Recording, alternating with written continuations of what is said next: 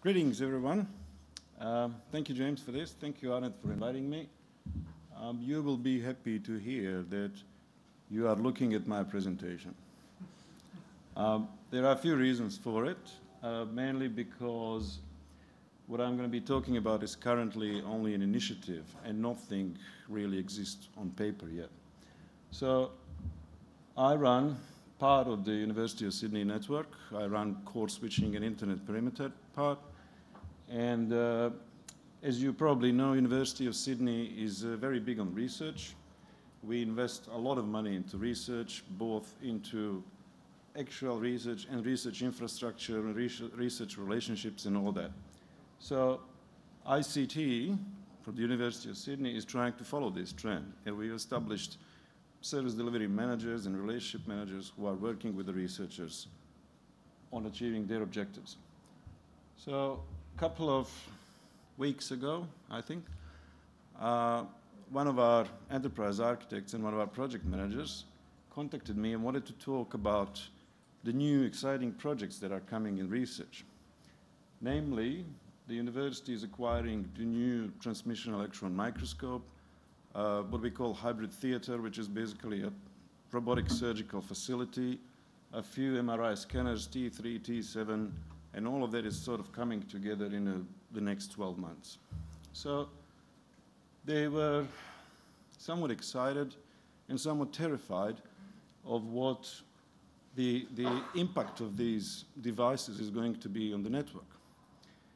And as they were explaining this to me, my brain started fragmenting back the conversation I had a couple of months ago with Jake Carroll from University of Queensland, who's been through the teething pain of this and who's already established a 100 gig network for the research purposes. And it became clear to me that our general purpose network, as I like to call it, is just not going to cut it for all the reasons that James had mentioned. And the only way forward is actually to establish a parallel high-speed 100 gig network dedicated to researchers only. So what we want to do is we want to set up a few of the 100 gig nodes, one at the campus and two in our data centers where our research data stored is located, um, and connect these new fancy machines directly to this network. Um, like I said, there's currently no architecture or design or anything in place. We are still in the development stage, very early development. But the general idea is this. And obviously, security impact is something that's going to have to be thought through uh, quite carefully. Since University of Sydney does a lot of medical research, so there's a lot of sensitive information, patient data, that sort of thing. And there's obviously a lot of intellectual property on, on the research. So security is going to be paramount. And we're going to be expecting AARNet to give us a hand in that, and obviously in establishing those 100 gig links. Um, this is only stage one.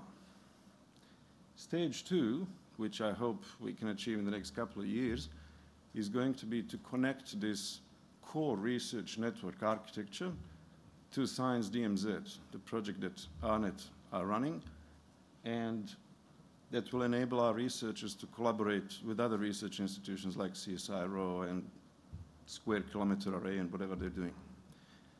So I think this is just about it, sums it all up.